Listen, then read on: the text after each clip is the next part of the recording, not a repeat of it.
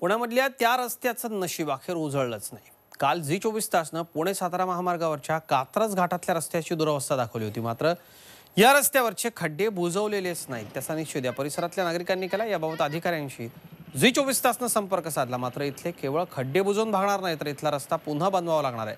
त्याची निविदा निघाली आहे. दोन दिवसांपूर्वी काम सुरू झालं होतं पण वाहतूक कोंडी तसंच अपघात व्हायला लागले. त्यामुळे काम थांबवावं लागलं. आता या रस्त्यावरची वाहतूक एकेरी करून काम करायचं ठरलंय. जिल्हाधिकाऱ्यांची मान्यता मिळाली त्यामुळे दोन महिन्यात हा रस्ता दुरुस्त केला जाणार आहे. मात्र इथं तरी सार्वजनिक बांधकाम मंत्र्यांच्या आश्वासनाची पूर्तता झालेली नाही हे स्पष्ट दिसतंय.